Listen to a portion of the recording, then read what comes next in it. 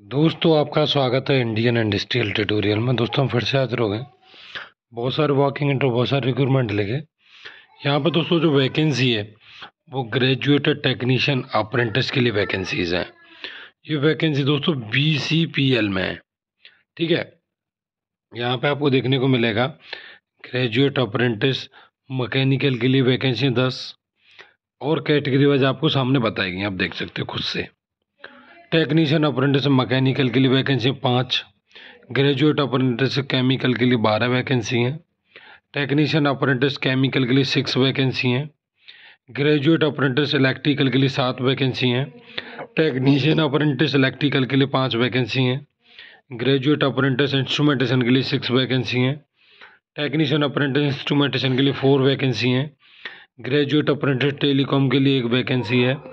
Graduate apprentice computer science के लिए एक वैकेंसी है।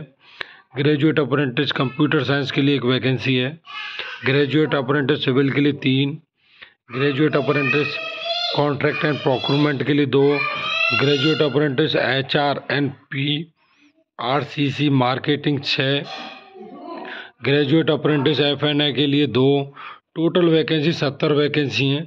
कैटेगरी वाइज आपको दोस्तों यहाँ बताएगी। जैसे मैं बात करूँ जनरल के लिए तो पचपन टोटल एससी के लिए तो तीन और एससी के, एसटी के लिए एक भी नहीं, और ओबीसी के लिए दोस्तों बारह वैकेंसी हैं। ओवरऑल बात करें तो। नेक्स्ट बात करें कि यहाँ पे क्या क्वालिफिकेशन मांगा गया है।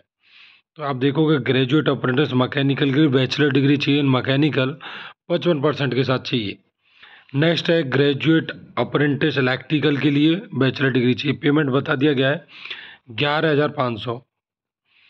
ठीक है नेक्स्ट बात करें graduate apprentice chemical bachelor degree chemical engineering पचपन परसेंट के साथ चाहिए। ग्रेजुएट अप्रेंटिस इंस्ट्रूमेंटेशन के लिए तो यहाँ पे भी बैचलर डिग्री इंस्ट्रूमेंटेशन रिलेटेड बता दिया गया, सारी सारी ब्रांचेस तो पचपन परसेंट चाहिए। नेक्स्ट बात करूँ ग्रेजुएट अप्रेंटिस टेलीकॉम तो बैचलर डिग्री और रिलेटिव ब्रांचेस सारी बता दी गई मतलब electronics electronics communication electronics telecommunication telecommunication electronic electrical ये सारी ब्रांचेज यहाँ पर जो है अप्लाई कर सकते हैं। लेकिन यहाँ पे केवल और केवल 2019, 20, 21, 22, 23 के पास आउट ही चाहिए इन्हें। ठीक है और नहीं चाहिए। यहाँ पे एज की बात करें तो 28 ईयर एज लिमिट रखा गया है। जो इकतीस एक दो हज़ार चौबीस के हिसाब से काउंट किया जाएगा। एस सी के लिए पाँच साल और तीन साल ओबीसी के लिए छूट दिया गया है। ठीक है, बाकी का विकलांगों के लिए भी दस साल का छूट दिया गया है। नेक्स्ट बात करें दोस्तों, graduate apprentice computer science, bachelor degree in computer science, पचपन परसेंट मार्क्स। नेक्स्ट बात करें, ग्रेजुएट अप्रेंटिस सिविल तो बैचलर डिग्री इन सिविल पचपन परसेंट पेमेंट सेम है। ग्रेजुएट अपने कॉन्ट्रैक्ट एंड प्रोक्यूरमेंट तो जहाँ पर डिग्री मैकेनिकल से मांगा गया है। नेक्स्ट बात करें ग्रेजुएट अपने एच मार्केटिंग ये सब तो P R N C C security marketing तो bachelor degree in relative branch graduate apprentice F N A bachelor degree in B com B com with पचपन परसेंट। यहाँ पर भी सेम है 2019 से 23 के बीच के पास आउट ही चाहिए। एज लिमिट अट्ठाईस, इकतीस, आठ, दो हज़ार चौबीस के हिसाब से काउंट किया जाएगा। एस सी के लिए पाँच साल ओबीसी के लिए तो तीन साल का छूट दिया गया है।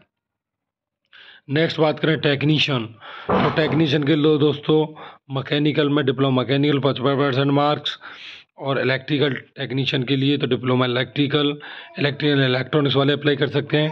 टेक्नीशियन ऑपरेटर केमिकल तो कम डिप्लोमा कम केमिकल टेक्नीशियन ऑपरेटर इंस्ट्रूमेंटेशन तो बेहतर रखा गया नौ हज़ार पाँच सौ पचास रुपये यहाँ पर दो हज़ार उन्नीस से बीस के पास आउट ही चलेगा।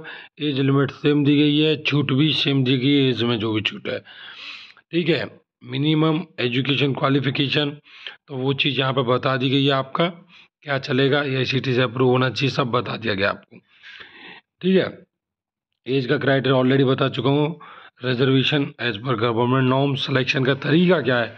वो आपका जो है, मायने रखता है। तो बेस्ड बेस्ड ऑन आपके मार्क्स हैं डिप्लोमा डिग्री में, उस पर डिपेंड करेगा। उसके बेस पे आपको यहाँ पे जो है शॉर्ट लिस्ट होगा। अप्लाई करने के लिए B C P L online dot co dot in पर जाके कर सकते हो। ठीक है?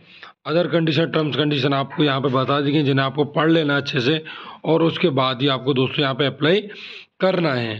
ठीक है, यहाँ पे क्या क्या डॉक्यूमेंट होने चाहिए? अप्लाई कैसे करना है? तो आप अप्लाई चार एक दो हज़ार तेईस से पच्चीस एक दो हज़ार तेईस तक अप्लाई कर सकते हो। B C P L online dot co dot in पे ठीक है, यहाँ पर टाइम भी दिया गया है कि चार तारीख को दस बजे चालू हो जाएगा। पच्चीस तारीख को मिड नाइट ग्यारह बज के उनसठ मिनट पर ये हो जाएगा।